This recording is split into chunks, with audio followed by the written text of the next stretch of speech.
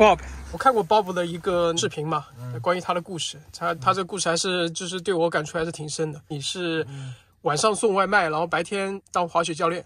今天我们是呃就在这个滑雪场，就 Groves Mountain 这里呢，跟 Bob 见个面，因为他马上要就要去这个上。滑雪的课了，你的生活白天要上滑雪课，然后上完滑雪课之后呢，然后晚上又去送外卖，呃，会不会会不会比较辛苦啊？因为怎么说，如果说身体还好的话，倒不是特别辛苦吧。然后我每天都会有咖啡做后盾。说你就是开着这辆那个 Ford，这个叫 Explorer，对，啊，送送外卖。对，因为我也想过，就是说用日就日本车或者电车送。但是考虑到要滑雪的这个事实，所以我就不会去想着要换一个小车哦。而且我身体比体型我本身就比较大，所以我就不可能就是说，我觉得小车可能开的不舒服吧，可能。但你开的这个这个车送外卖会比油耗比较高啊？嗯，我会挑单子做。挑单的意思就是说你要送小费高的。OK，对。所以你是在哪个平台上送那个外卖？到大去和 Uber。然后有些时候我甚至还会在维斯勒送，因为维斯勒和北温西温送，因为北温西温和维斯勒都是富富人区的聚居地，所以他这样子是小费会给的高一点。所以说你现在对这个送外卖就是怎么送的收入比较高，有很有很有心得。对，也可以这么说吧。对，那上次我看到你这个送外卖的故事，我就感觉就是好像就是有些时候就是确实会遇到非常突发的一些状况。比如说你在送外卖过程当中有没有遇到什么？有些时候停车问题很难。比如说我有一次在三号路上送外卖的时候，就是列治文的三号路，我跟顾客说，当然我说话是声音语速是非常快，因为那个地方车流量大，也不能停车。顾客也没说清楚，就是说他是在后门等我，但是那谁都会理解成是在前门等我。然后我就跟顾客说话是语速非常非常的快。而且说话声音我也会比较响的，因为那个地方不能停车，我怕会被那个贴罚单。然后我说话声音很响，然后顾客就觉就觉得我态度不太好，事后给了我一个差评。不过还好我我好评率接近百分之一百，所以说倒无所谓，就一个差评。他没有按照客观的实际的情况去判别一个好。一件事情，我觉得他这种判断是有失公允的。但是你就说对你来说，啊，最最愤怒的一件事情，就是一个女的啊，对，对，然然然后他是怎么样？就是把你关在他的对对。你能告诉我这个事事情的经过吗？经过是这样子的，就是说我送外卖，但是我觉得说我想省点油嘛，我想走路进进去，但是那个他是这样子的。你走着走着，这要那个 house 也是有个大门的啊，因为是在安里，安里那个地方可能不知道的朋友不知道，他那个地方有很多农场，他的农场其实那个地方其实是很开阔的一个地方，其实很远，从他的从从他那个 gate 大门到那个小门是非常远，有六百米的距离，其中是这样子，然后有两百米的距离，看着是这样子的，嗯，你看到我的手，对，是这样子的。slope。然后再是这样子一个小 slope，然后慢慢的，嗯，到他的门口，非常陡，六百米，那来回就是一一点二公里啊。那么我送完以后，我那么送完六百米走回来一点二公里，对吧？我发现这个门是开不了的。那我想问一下，你出去应该是没问题的吧？应该是有个小门，或者说那个门是自动开出去吧？我觉得，我又不是进来，我是出去。出去，但是他没给我开门。你送外卖的时候，然后是走路进去的。对。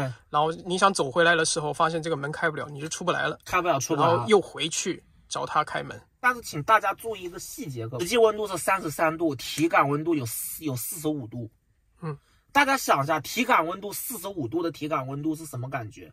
而且他那个那一段就是这样的六百米的距离是无遮无拦的，没有树荫的。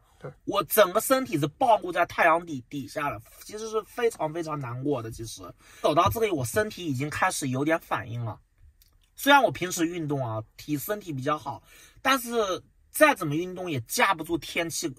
天气冷是没问题的，但是你再怎么运动也架不住天热呀。问题是，嗯。然后我先我就先想，要不先打个电话给那个屋主，就不要走过去，用打电话的方式处理。对，但是我 Uber 它那个电话号码是虚号，不是实号。嗯，也就是说你打虚号是没有人接的，就是因为你当时，我当时送完单是是不是相当于你要在手机上就是说，呃，告诉别人这个单已经是完成了，你那个电话，那你再打出去，那这电话就就就是个虚号了。我大概打了两三个，全都没人接。那这时候已经其实已经过去了十几分钟，而且大的天还是非常非常热的情况下，然后我就打了 Uber 的平台，Uber 平台他也说，呃没有办法，你打九幺幺吧。他说，然后我这边打九幺幺，然后边硬着头皮再走六百米单程回去敲门，我门敲开了，然后那个那个女主人说，她就质问我的口气说，我为什么还没走？我是不是有什么企图？开始反问我。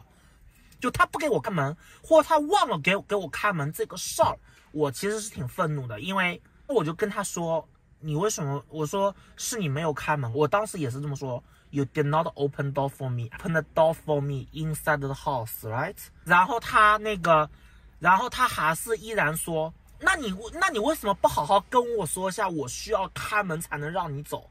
那我当时就说不对，我说。你住在这，你是知道的呀。你为什么你就不给我开门？他是小孩要养，所以他可能情急之中忘记掉了。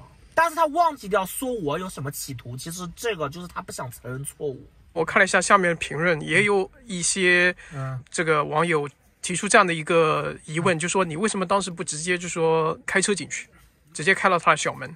呃，因为你开车进去要掉头，我其实有些时候会嫌麻嫌麻烦，要掉头。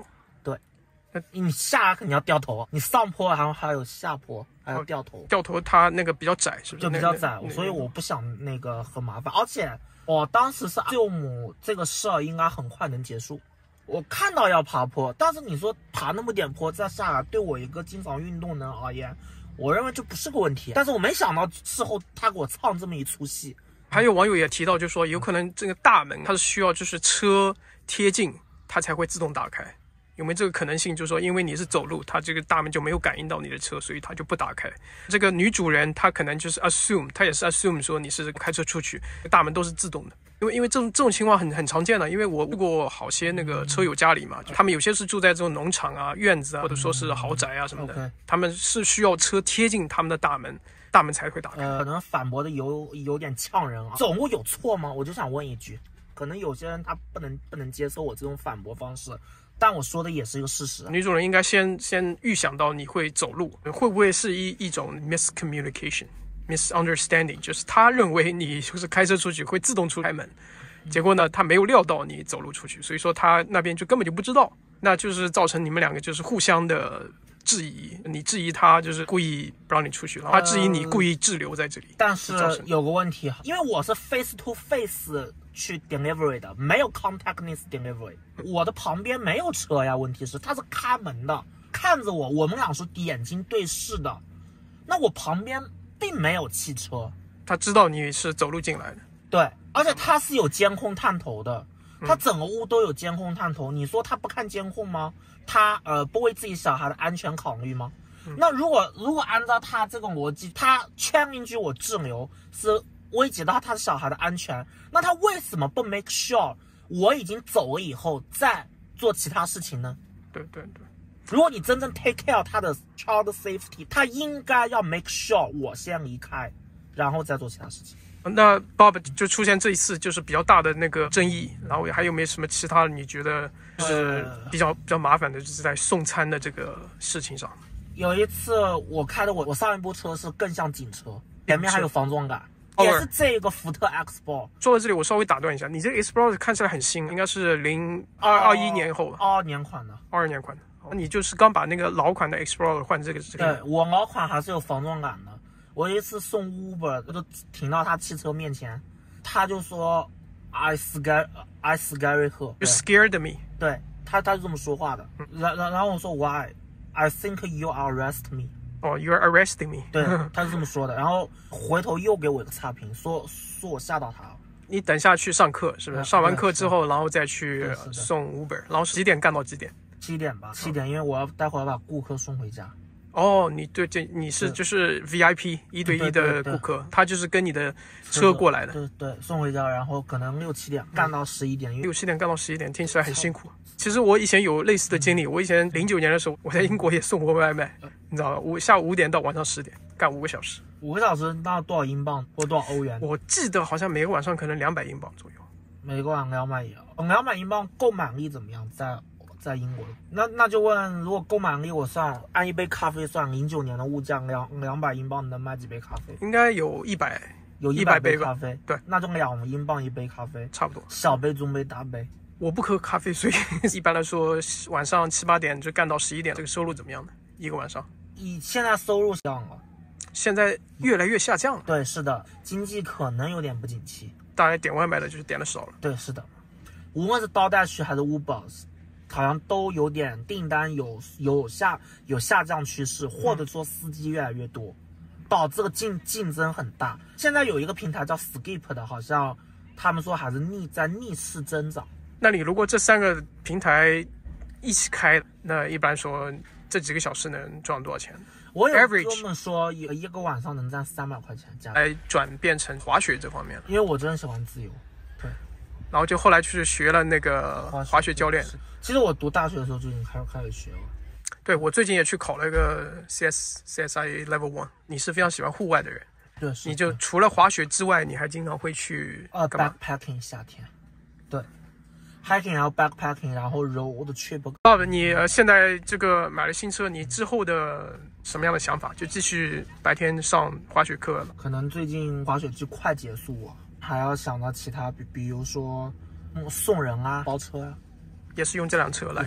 那这部车如果是长途包车，我觉得是它是三排吧，三排座位。对对，三排座位在在 Uber 里面，我记得是这个叫 X，七座车 SUV，七座车价格。对对对，EXL 什么的啊。对，就 XL 的价格，所以我这车会贵很多。这但是 Uber 不做长途包车，要做长途包车，朋友可以就私底下联系我，因为 Uber 它只有短接，它没有包车业务，嗯，如果有朋友就是想要长途包车，包车比如说去哪个地方旅游啊什么的，可以。可以找我。然后我上面还有行李架。